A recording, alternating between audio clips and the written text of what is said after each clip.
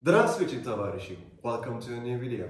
In this video, I'm with Tom Christie, and we're going to be discussing the basic footwear of the Red Army during the Second World War. I leave it to you then, Tom. That's right, Jen. What we're hoping to achieve with this two-part series on the footwear used by the Red Army throughout the Second World War is to educate those who may be new to reenacting the Red Army, as well as those who may have been doing it for some time, but need some extra guidance. We will cover in this video all of the basic types of footwear used by the Red Army, as well as the odd variations you may find on different fronts, as well as covering Lend-Lease models. The first model I want to speak about today, Jem, is the basic Red Army logo. Now this was standard in the Red Army throughout the Second World War. Say you're starting on a 60 to 40 ratio of low to high boots, at the end of the war you're probably on 70 to 30, so more high boots than low boots. Uh, there's no reason or rhyme for that. It seems to have been just a preferred way of manufacturing was to move over to the high boot. So anyway, focusing on the low boot, we'll see as far as boots go, it's a very basic design. Most other countries have this design. It's a boot, right? Um, but what differs it from other countries? Now, you'll know British uh, ammo boots, for example, they have quite a bulbous toe. Uh, German boots, you'll see a lot of hobnails on the bottom. Uh, American boots, you will even see some, some rubber soles. Now, the Red Army, in kind of opening stages of the war, or at least definitely pre-war, it was very much a leather-soled affair here. And now, what, what I have here is one of the most basic models you can have, where it's a leather sole with a leather half sole. So the half sole is essentially this, this bolted onto it so the other way around. And cut down to shape and size in order to properly fit the boot. Anyone who knows how to make boots and shoes probably know what's going on there. Exactly, it's just to reduce wear because if you have only one layer of sole, it's going to wear through much quicker. Whereas if you have the half sole, you can wear through the half sole as you can see that's been done already on these boots and then replace the half sole, elongating the life of these boots. Uh, and what you'll see in photos, you'll see a, a wide variation of different sole and heel types being used. So from this basic leather half sole leather heel, you'll also see some with heel plates, very similar to British ammo boots. You'll see some with half heel plates, very similar to what we have here. So these would be screwed on to the heel and also perhaps to the toe. Very similar just to elongate the life of these boots. Um, pretty much beginning from start of the war and definitely a lot more prevalent from 1942 onwards. You'll see a lot of rubber soles coming in. The rubber soles will be the same boot, but with a rubber composite sole. Uh, we have an example of that, of how these soles look on one of our high boots. These are called dotted soles. You'll probably see that referred to in a lot of Facebook groups or forums. It's just, uh, it's almost mimicking the hobnail design with rubber dots mm -hmm. on the mm-hmm. boot. There is no half sole here, it's one composite single sole with a rubber heel. So you'll see that on low boots as well as you, you'll see leather sole. They're, neither are wrong, uh, they're both absolutely right. And the problem with low boots in reenactment is, is it can be quite hard to find suppliers of these. Um, high boots were used by the Soviet army after the Second World War pretty much up until the dissolution of the Soviet Union. So finding postal models can be quite easy, but low boots, you're pretty much going to have to find reproductions. Yes. Uh, the only decent reproduction out there at the moment is uh, through, through Roman Panov's store called uh, Soldatska Lavka. Uh, Soldier Store. Soldier Store on Facebook, that's right.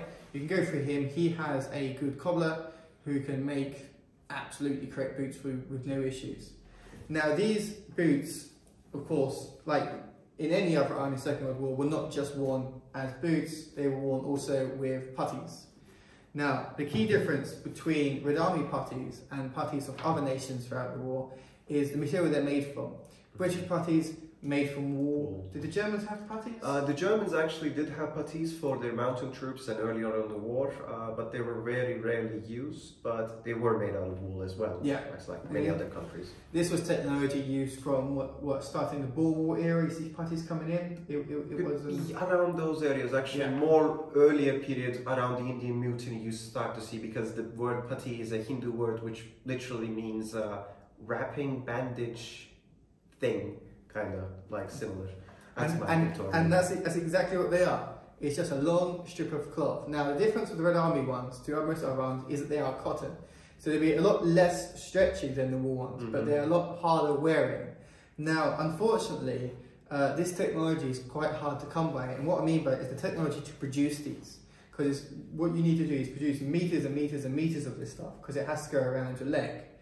Uh, in terms of reenactor suppliers, not many have managed to achieve this. The only store that I know of that can supply the cotton puttees is again Roman Panov's Soldatska Lavka. Uh, I hope he gives us commission for this because clearly we're going to send lots of um, orders his way. But the colour of these ones is black. Uh, that's more common in the early stages of the war. Uh, what you often, well, what we believe is the reason for this is that when soldiers were standing in parade, if you had a mixture, yeah, you take one of those up. If you had a mixture of soldiers wearing the high boots and the low boots, then when the puttees are done up to your just below your knee in a formation, it will look very similar. It gives uniformity for, you know, army's sake. E- exactly. The later on in the war, you start to see variations come out. You see going from black to grey to khaki to green. Um, you can find these colour variations from your typical suppliers like Schuster's or Voinspex or Voin. And yeah, you can get them quite easy with that. The next model we want to move on to, because in this first part video, we're only going to cover the basic models, those which are not too Gucci, not too out there, Mhm. is the basic boot. Oh, sorry. That's all right. So we have two models here with us. And what I'll do so I'll just put one of these down and take that one there. So on the left here we have a soldier's leather high boot and on the right we have an officer's leather high boot.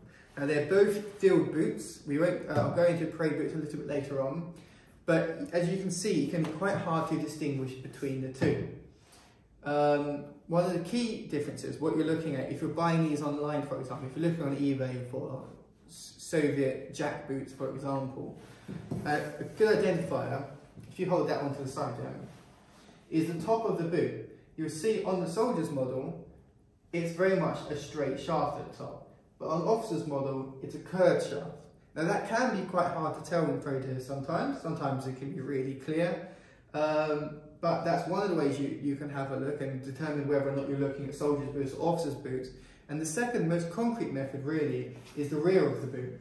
You'll see that soldier's boots have a strip of reinforcing leather, whereas officer's boots do not. They simply uh, fold in together and are sewn. Uh, it's likely because soldiers' boots are going to be used in, in a more strenuous manner and they need to be able to um, keep up with what a soldier's doing.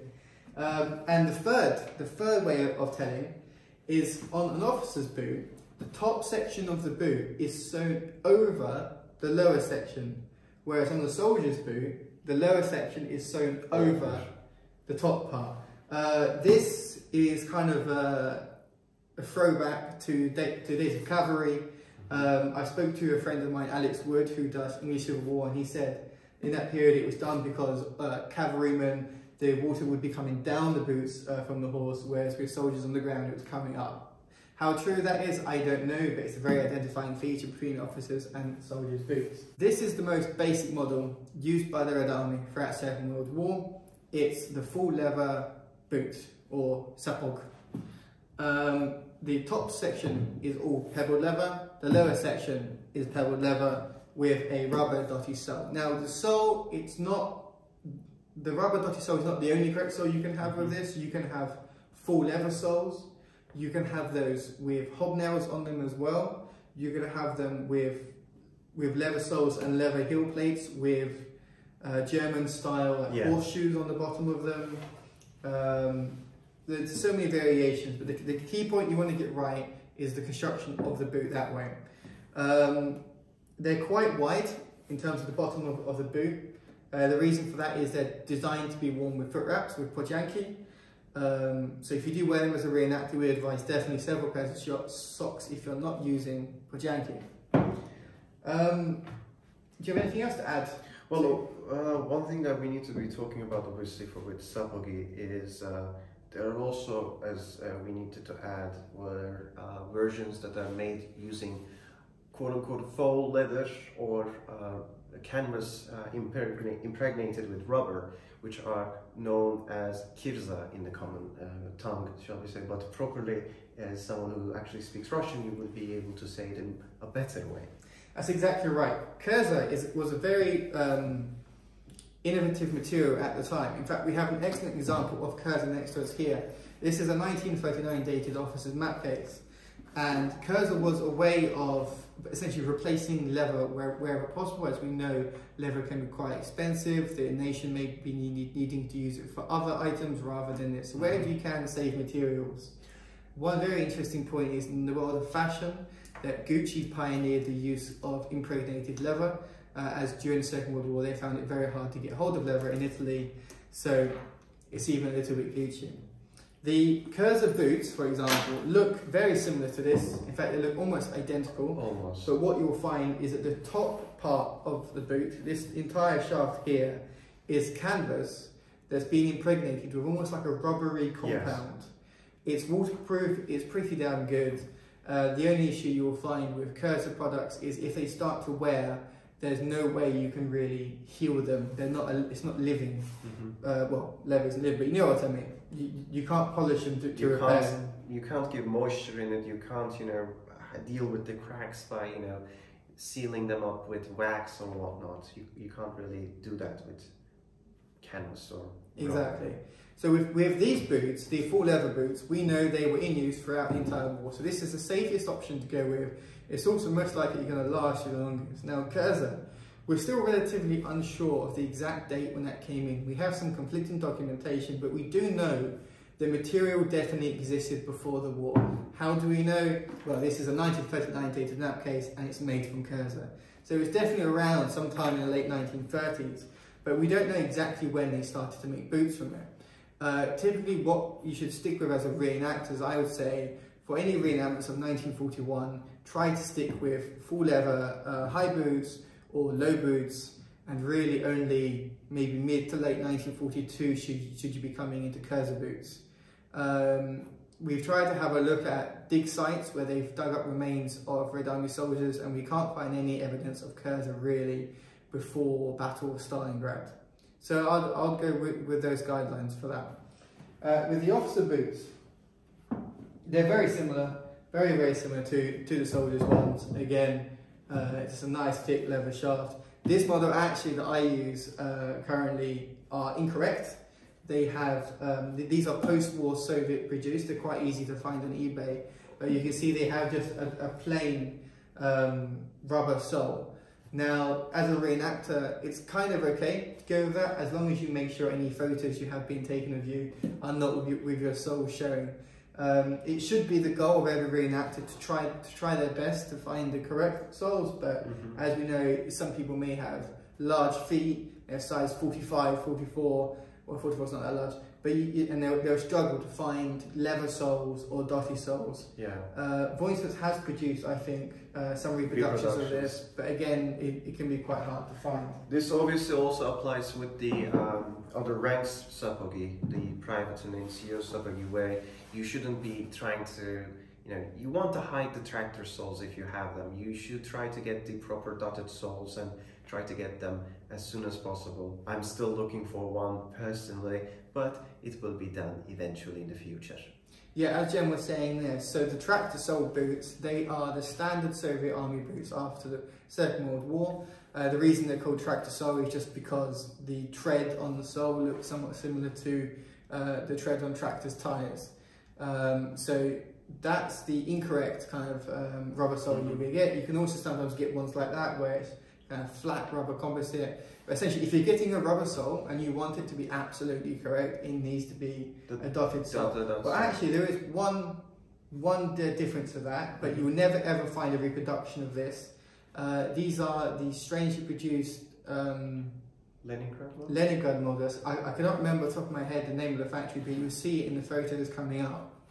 Um, they are only seen really on the Leningrad front. I myself have seen them a lot around Nevsky Pyatachok, which was an area of extremely heavy fighting just outside Leningrad during the blockade.